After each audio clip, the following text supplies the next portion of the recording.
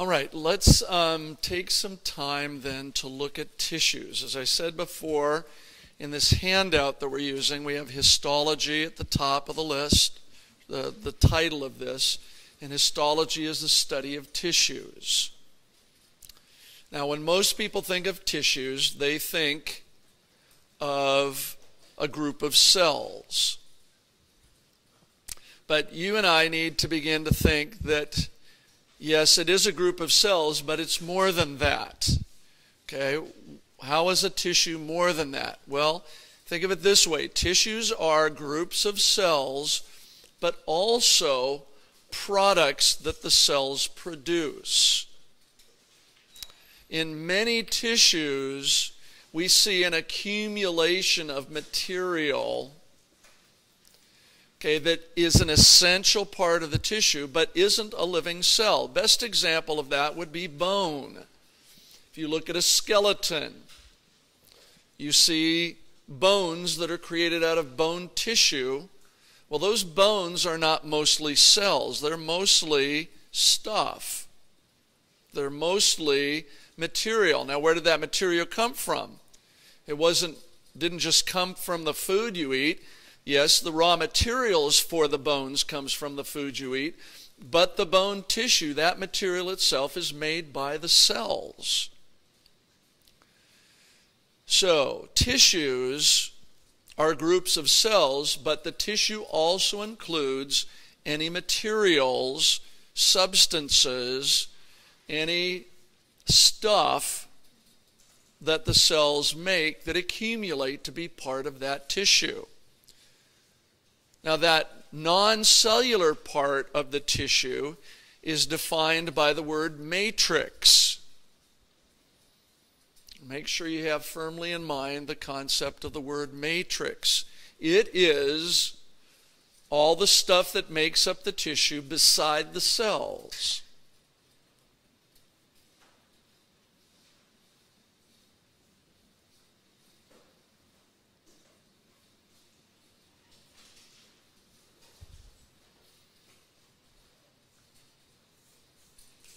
Hey, everybody got that basic idea? That's what a matrix is. Now, when you think of tissues, you're going to recognize that there are some tissues that have a lot of matrix and some tissues that have very little. There's, there's quite a variety of proportions here. Bone, for instance, is a tissue with a lot of matrix the majority of the tissue is matrix. There are still living cells. When you look at a bone, you don't think, oh, that's just a dead object like a rock. No, the, a bone is full of bone cells, but the majority of the tissue is the matrix of the bone tissue. Now, contrast that maybe with something like muscle. If you look at muscle, muscle is kind of flexible, it's squishy, it's mostly cells. It's like 99% cellular. What makes up muscle tissue are muscle cells. So there's this spectrum, isn't there? There's this broad range of tissues from some that are mostly matrix to some that are mostly cells. And we're going to recognize that as we go along. Okay? Questions? We good with that? Okay, so we, we must start with that basic concept of the matrix as part of the tissue. It's not just a group of cells. Now, when we look at the number of different kinds of cells, we said there are about 200 and something different cells in the human body. And they make up a smaller number of tissues but it's it's in that hundreds range, not you know millions and thousands. When we look at all the different kinds of tissues in the human body, scientists have basically then categorized all of these tissues in four major categories, and you see them listed on your handout. So our next thing to do is I want us to just have a basic understanding of what each one of the tissues are. These tissue, these four tissue types here. Let's look at some major characteristics. Think of the roles they play. Then later today, we will actually look at each one of these in detail and say how many different types or, you know, how do these break down? So we're going to start then with epithelial tissues. With epithelial tissues. What are epithelial tissues? Well, the best way to describe them is to talk about them as covering and protecting tissues. These are tissues that are found on the surfaces of the human body. Now, when I say that, what tissue do you think of right away? Skin, right? Skin is covering and protecting the outside surface of my body. But you also need to realize that there are many internal surfaces to the human body that might not be so obvious to you. But there are like there are just tons of epithelial tissues. Can you think of what some internal surfaces might be? The digestive tract. You have a tube running through your body from your mouth to your anus. Can I say the word anus? Of course I can. Okay? You've got a tube running all the way through you. The inside of that is going to be lined with an epithelial tissue. Now, think too that these tissues then are going to be providing entrances and exits. I just was talking to you about the cell membrane, right? Being shipping and receiving. Nothing gets into or out of the cell, but it has to come through the cell membrane. Well, you know what? Nothing gets in or out you without coming through an epithelial tissue. The inside of you, your flesh, the substance of your body, is separated from the outside world by epithelial tissues. And anything, if your food gets into you, if oxygen is going to get into you, if waste products are going to get out, out of you, they have to cross an epithelial tissue. So everywhere. These are just all over the place within your human body. And many different types.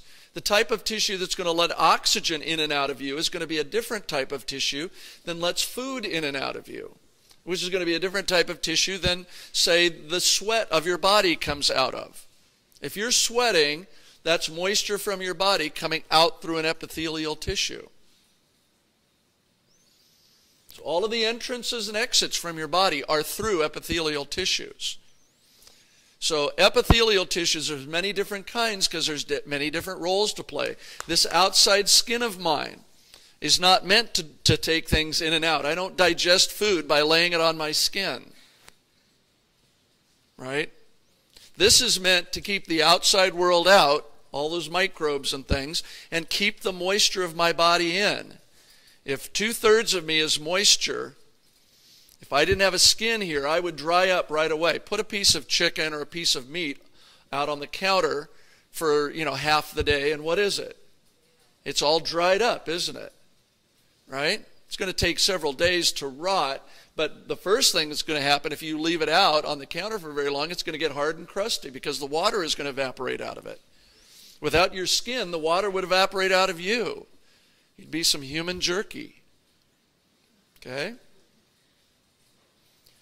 So every epithelial tissue is specialized to do a certain thing. You don't have to worry about losing moisture down deep inside your body. Right? There isn't a lot of place to just evaporate water out into. But there are other things to, you know, there's other reasons to have epithelial tissues, and mostly it's to draw things in or out of you. now, all epithelial tissues have the same basic structure to them. Now, think of things, now don't think anatomy right now, don't think human body, but think in your everyday world. If you're going to cover something, what kinds of objects, what kinds of things do you use to cover things in your everyday world? If you want to protect them, What? Okay, plastics, like sheets of plastic, right? Maybe I have a plastic cover for my barbecue. Right? What else? Just some everyday things that cover and protect things. Clothes, right? Clothing, right? Cars, Pars. Oh, okay. I wasn't thinking so much. Yeah, that would be a protection. Bars don't really cover, they kind of let you still see through. Thinking of something that, that covers. You're in the protecting realm, though. What? Yeah, a, a house, maybe, in a sense. Thinking of more everyday sorts of things, like a tablecloth, right? A car cover, sheets on your bed, clothing, right? All of these have the same basic structure to them, don't they? What are they? They're sheet like, aren't they? Right? All of these things we're describing that we use to cover things are sheet like, aren't they? They're very, very thin. Right? And how many sides are there, like on a bed sheet? How many sides on a bed sheet? It's not a trick question. There's two sides on the sheet, isn't there? There's, there's edges. There are edges to it, but there's just basic two, two sides, right? When you put the sheet on your bed, you know which side to put up and which side to put down, right? Or if you put a tablecloth on the table, one side is usually nice and decorative, and the other side maybe is not so much, right? There's definitely two sides to all of these things. Um, you could think of this like um, if I took, maybe I took a tablecloth and I glued it onto the table. One side of the tablecloth gets glued, and the other side becomes the new surface of the table, doesn't it? Right? Understand what I'm saying? That's how these epithelial tissues are working. They're glued, in a sense, quote, glued onto the surfaces of your body, and they become the new surface. So you can picture these both outside and inside. Picture them running through your digestive tube. Picture these running down into your lungs.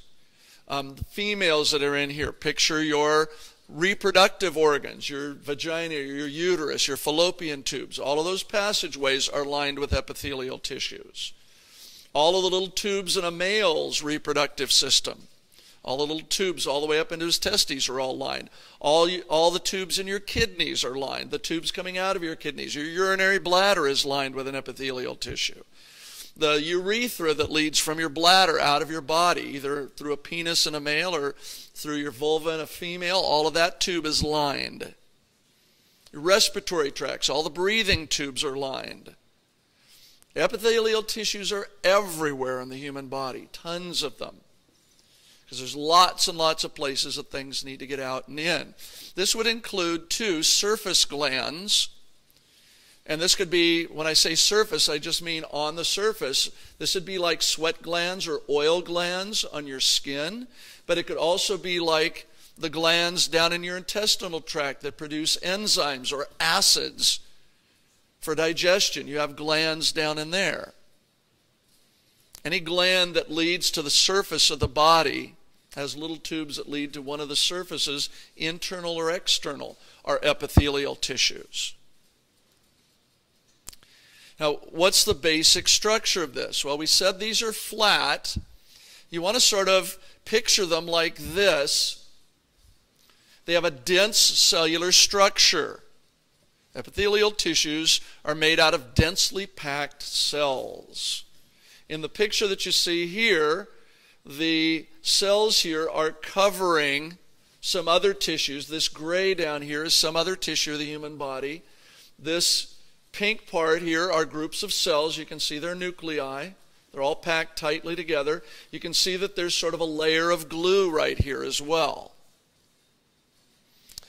Uh, when we speak of that part that sort of glues the cells down, we speak of something called a basement membrane. You want to be able to say that every epithelial tissue will have a free surface and a basement membrane. Basically, these are the two sides of the tissue. If the tissue is like a sheet, if it has two sides to it, when the tissue is glued down to protect and cover the other elements here, one side of the tissue becomes the new free surface, and the other side you will see a layer of gluey stuff, which is what is referred to as the basement membrane. It's not really a membrane, but it was it could be seen early on in microscopic investigation and it looked like a layer there. It looked like a membrane to the people that were describing it. And so they described it as that. Today we know it isn't literally a membrane, it's just kind of a layer of gluey type substance, uh, part of the matrix here that holds the cells to the tissue underneath. So this, this is the basic structure of all epithelial tissues. They're all going to be densely packed cells. There's some real advantages to this too, then, because we can program the cells to allow certain things into your body and prevent other things. Rather than your body having a, just like a physical wall or a barrier between the outside world and the inside world, right? We have a set of living cells that can perform certain functions, that can allow some things but disallow other things. Um, an analogy here would be we've got a brand new president. You know, think about how you protect a president, right? You can protect a president in a, you know, a bulletproof building or a bulletproof car. But when the president is in something like that, he can't interact with other people very well.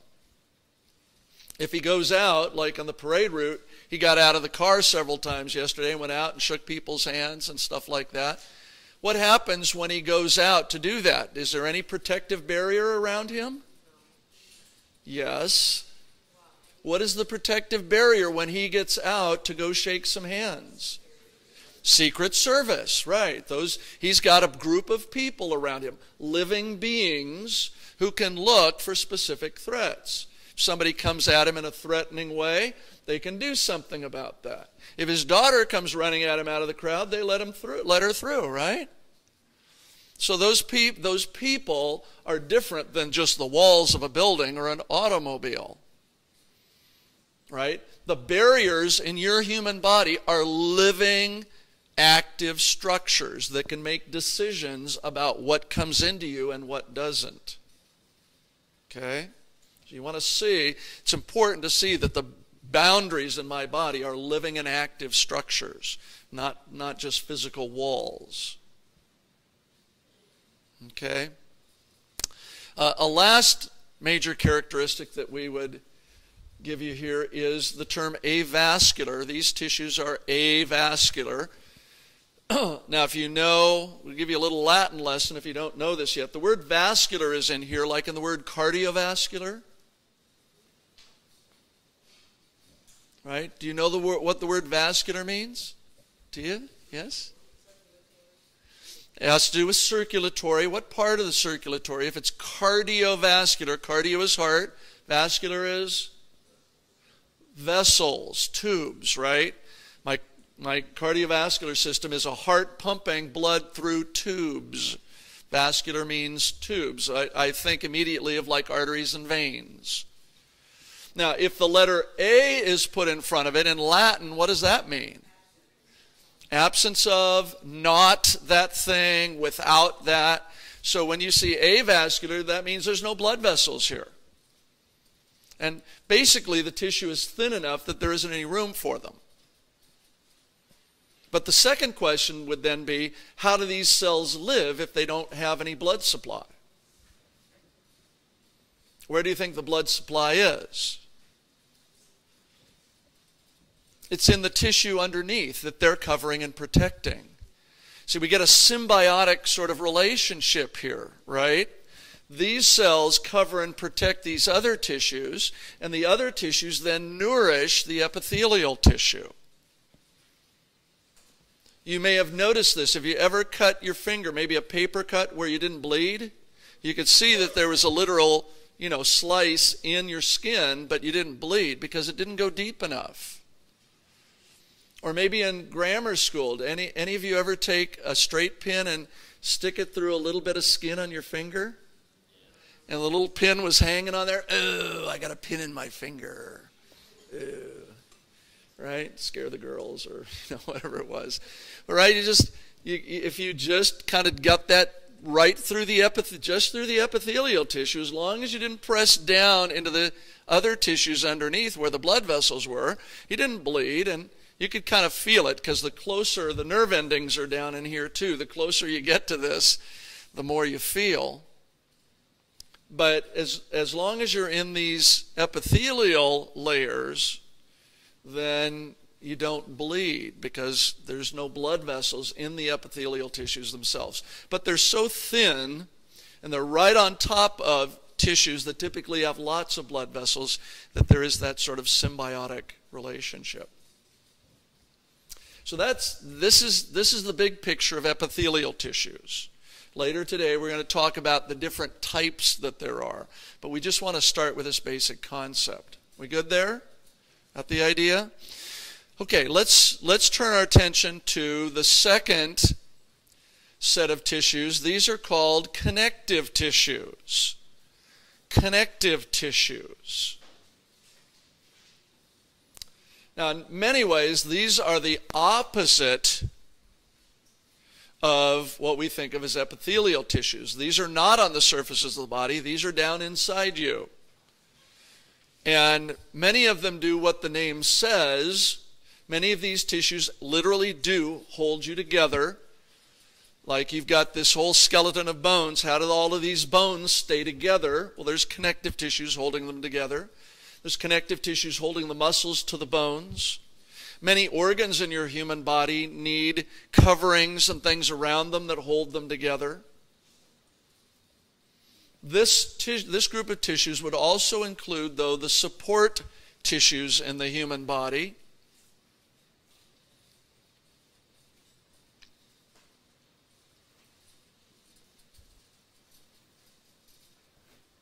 Okay, the skeleton, for instance, parts of the skeleton like bone and cartilage we include here.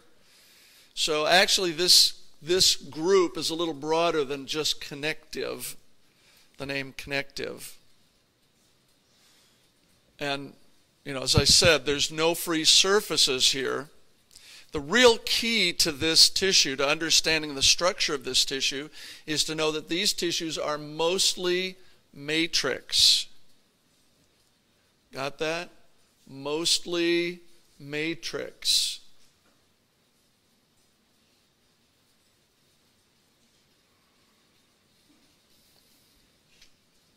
It turns out, as you might guess, that cells are kind of just these little soft protoplasmic stuff. They're not very strong in and of themselves. They're, they're not made to be strong. They're made to be these little manufacturing structures. They're these little coordinated, organized bits of manufacturing. So, how do I get strength? How do I get things to hold my body together? My cells manufacture materials that hold me together, and other materials that build the skeleton of my body, the structure of my body. You tell since most of the tissue is matrix, you identify these tissues by their matrix, not so much by the cells. The cells don't have a lot of variety to them. Most of the cells here look pretty much the same, but because the majority of the tissue is the matrix, when you look at it, you say, "Oh, this is bone tissue, or this is cartilage tissue, or this is this is the connective tissue that holds muscles to the body. This is a tendon or a ligament." These tissues um, are both vascular and avascular. There's sort of a mix. Some of these tissues have rich blood supplies to them, and some do not. Uh, an example here would be bone. Bone is very, very vascular. There is a lot of blood in a bone. You break a major bone and you can bleed profusely. Um, Sometimes, uh, in, say, a car accident, if somebody breaks both their thigh bones, you can actually bleed to death. by breaking two bones because they're big bones and they're just full of blood.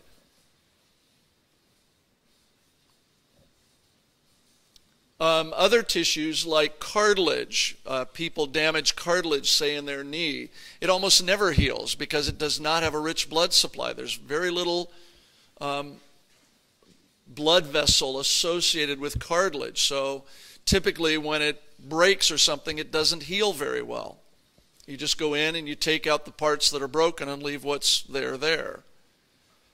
But it doesn't repair itself well because there, there isn't a good blood supply to it.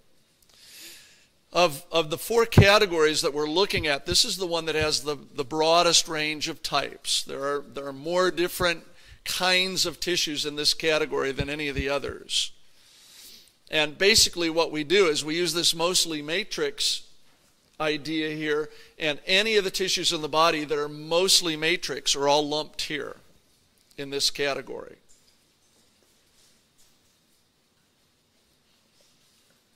And a little bit later today, we'll look at all the different types there are here. Okay, the last um, couple of tissues. The third major tissue type that's here are the muscular tissues. Muscular tissues. Now, when you think of muscle, you immediately think of, say, the muscle in your skeleton, like the poster on the wall over here. But there are actually three different types of muscles in you. And all these tissues, any of the three types, their major characteristic is that they have a contractile movement.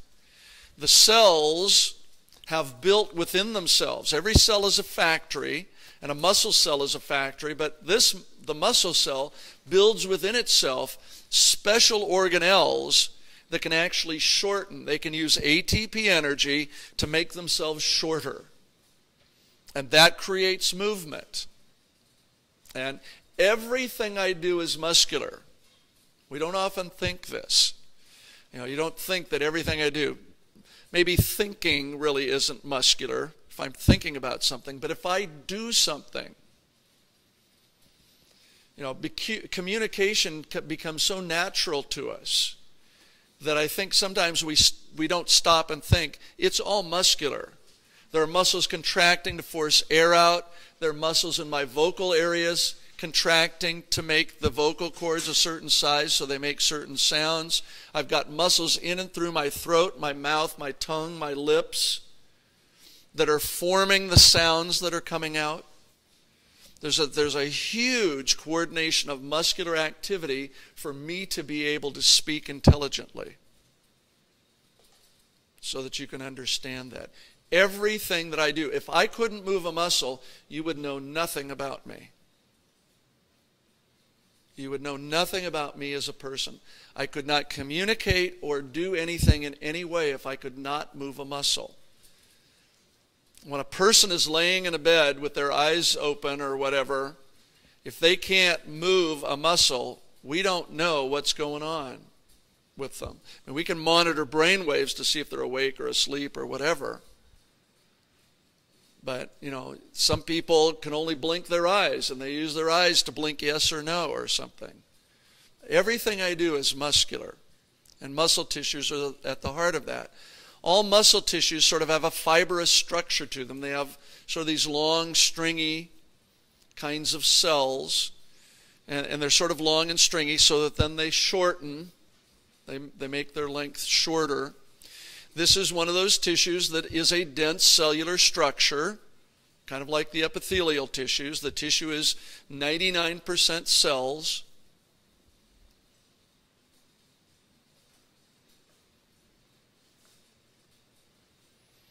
And we said there are three types.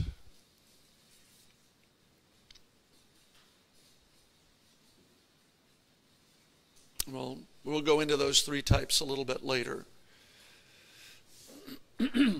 okay, let's look at the last tissue then. The fourth category of tissues in the human body are the nerve tissues.